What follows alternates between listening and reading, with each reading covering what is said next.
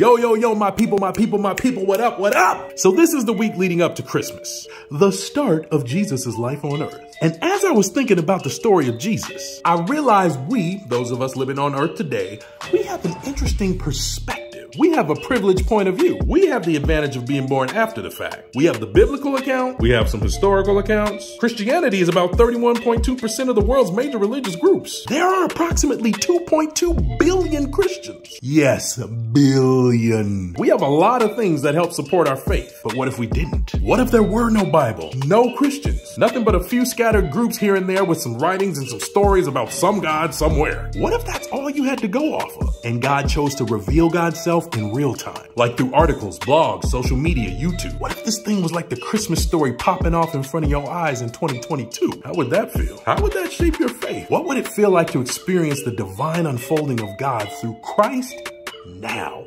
Well, my friends, stay tuned to my account. I want to experiment with this and I want you to experiment with me. Hashtag Don. Hashtag Christ now. Come on, somebody.